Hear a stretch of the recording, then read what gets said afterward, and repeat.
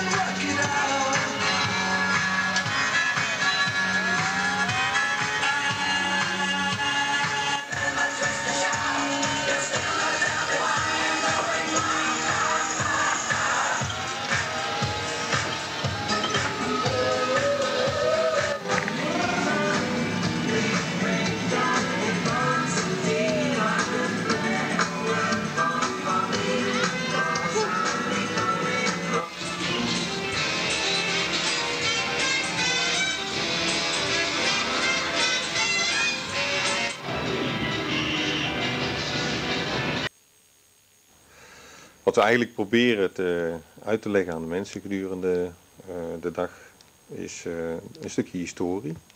Hoe dat het bedrijf hier gekomen is, wat we gedaan hebben. En ook wat we op dit moment doen. En wat onze plannen zijn voor de toekomst.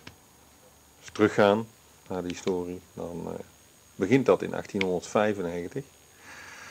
Dat was het jaar waarin Dirk de Jong, de opa van mevrouw Brine de Jong, die nu nog voor het bedrijfspand hier in de Torenstraat woont, de eerste houten wielen ging produceren voor kruiwagens.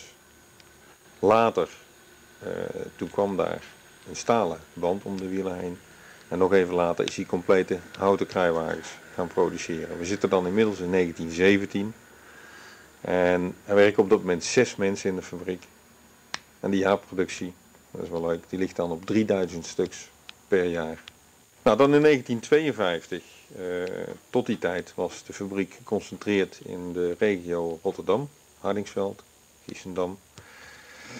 In 1952 ver, eh, verhuist het complete productiebedrijf vanwege een gebrek aan personeelskrachten naar eh, het Brabantse en belandt in Schijndel op het fabrieksterrein de Molenheide.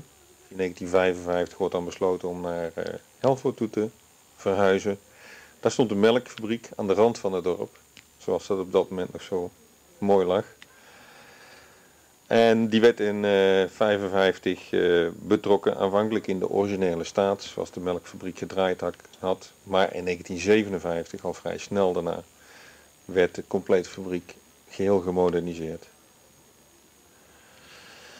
Nou, dan in 1976 zijn het mevrouw Brine de Jong en meneer Brine die samen uh, het bedrijf overnemen van hun ouders en schoonouders. En in 1990, ik maak nu even een flinke sprong, wordt Matreco Nederland opgericht. Matreco staat voor Matador Training Company. En is het bedrijf wat op dit moment ook nog de kruiwagens uh, verkoopt op de markt. Dus zeg maar de verkooporganisatie. Maar daarnaast een hele groep van handelsartikelen importeert vanuit het Verre Oosten.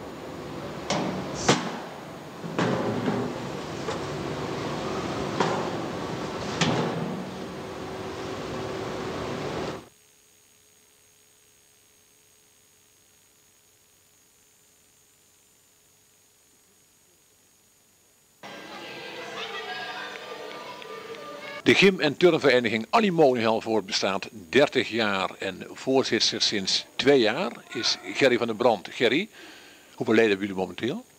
We hebben momenteel ongeveer 125 leden. Uh, de meeste natuurlijk uit de gemeente, Helvoort. En een aantal leden uit uh, Biezenmortel en twee leden uit uh, Haren. Het is de enige vereniging op gym- en turngebied in de hele gemeente, hè? Ja, dat klopt inderdaad. Want in Haren hebben ze twee jaar geleden wegens uh, gebrek aan bestuursleden de vereniging op moeten heffen. Jullie hebben veel uh, kinderen tot ongeveer 12 jaar. Daarboven is het duidelijk minder. Hoe komt dat, denk je? Um, ik, ik denk zelf dat het komt doordat uh, kinderen zelf andere interesses krijgen. ja, mogelijk door school, huiswerk. En de grootste groep en de aandacht ja, waar het meest naar uitgaat is toch de basisschooljeugd. Dus misschien, misschien dat mogelijk voor die kinderen wat minder interessant wordt. Alhoewel de leden die blijven zijn hele trouwe leden. Ook twintig kinderen uit Biezenmortel zijn lid, maar nog niet zoveel kinderen uit Haren met name. Nee, dat klopt. We hebben twee leden uit Haren. En ehm, ja, die hebben denk ik toch via via gehoord dat er hier nog een, eh, een, een bloeiende vereniging is. En, eh, en, en zijn daar lid van geworden. Maar ik denk dat de afstand weer een beperking is om, eh, om hier naartoe te komen voor de mensen uit Haren. 30 jaar Animo, kijk eens vooruit naar ehm, de komende jaren Animo. Hoe zie je die ontwikkeling? Een doorgroei of een stabilisering van het aantal leden? Eh, nou, zoals ik eh, teruggezien heb in het verleden, is eh, het ledenaantal van Animo vrij constant. Er zitten gemiddeld rond de 125 eh, leden. Ja, dus op zich denk ik dat, dat dat wel blijft. Vaak weten kinderen ook nog niet welke sport ze moeten kiezen. En dan beginnen ze vaak bij Animo. En dat blijkt een hele mooie opstap te zijn voor, eh, om zich naar de rand in andere sporten verder te ontwikkelen. En is dan gimmen of turnen het meest populair bij de kinderen? Eh, op jongere leeftijd eh, wordt er meer aandacht aan het gimmen gegeven. Als ze wat groter zijn, vanaf een jaar of 8, 9, dan eh, wordt er meer accent op turnen gelegd. Maar eigenlijk is, zijn de lesuren altijd een beetje 50-50 opgedeeld. Er zijn spelvormen, daar wordt mee begonnen en mee geëindigd. En tussenin zijn er dan turnactiviteiten. Met name voor de, ja, voor de kinderen vanaf 8, 9 jaar.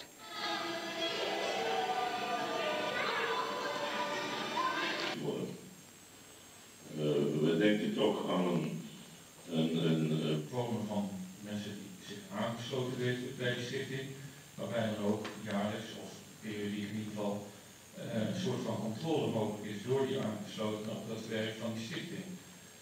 Als een stichting niet die Helvoortenaar. En als we een stichting hebben, dan wil dat zeggen dat iedere Helvoortenaar, ook al is hij geen lid van de vereniging, toch een beroep kan doen op de, op de, op de dorpsraad. En daarom hebben we gekozen voor een stichting. En dat, is, dat doet een beetje paternalistisch aan. Maar als we nou een stichting hebben met mensen die niet voor hun eigen belang zitten te werken en dus ook geen salaris krijgen, dat staat mij altijd als punt 1 voor de geest. Mensen die iets voor het dorp doen, moeten er niet voor betaald worden, maar die moeten voor Helvoort werken. Dan, moeten dat, dan ver- veronderstelt het ook een zekere integriteit.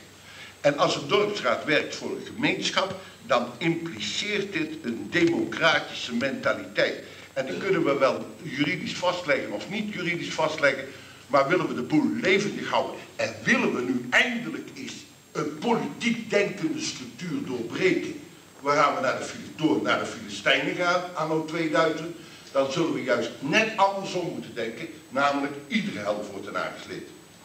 Wat wil niet vertegenwoordigen?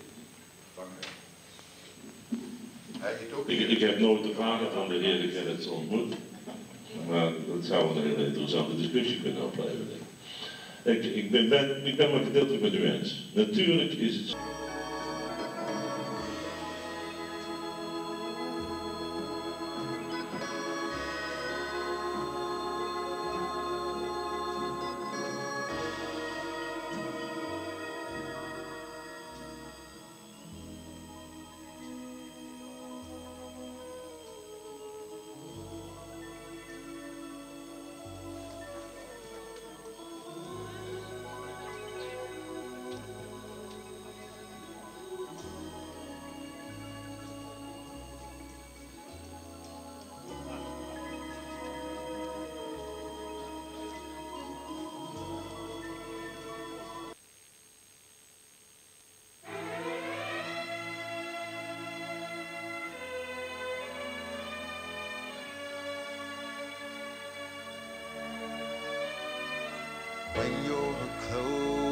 tears remember some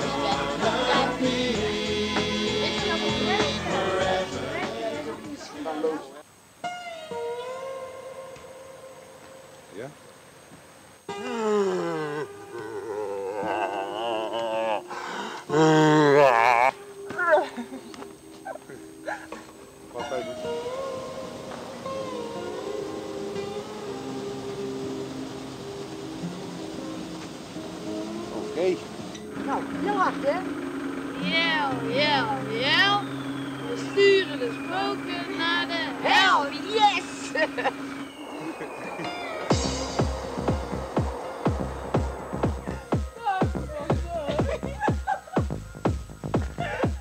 Nou, loop maar gauw door. Want wij willen jullie ook wel een keer. Wij willen jullie ook wel een keer eh, kwaken.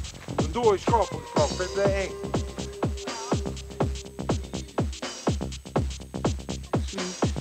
bitch.